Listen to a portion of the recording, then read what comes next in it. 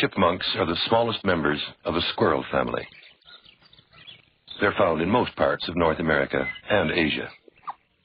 Fallen logs, tree stumps, piles of brush or rock provide good homes.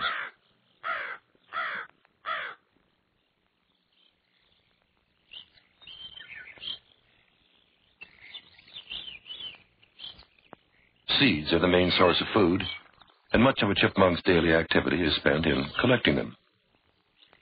When the cheek pouches are full, the chipmunk stores the seeds in its nest, or caches them on the ground, covering them with leaves and other litter.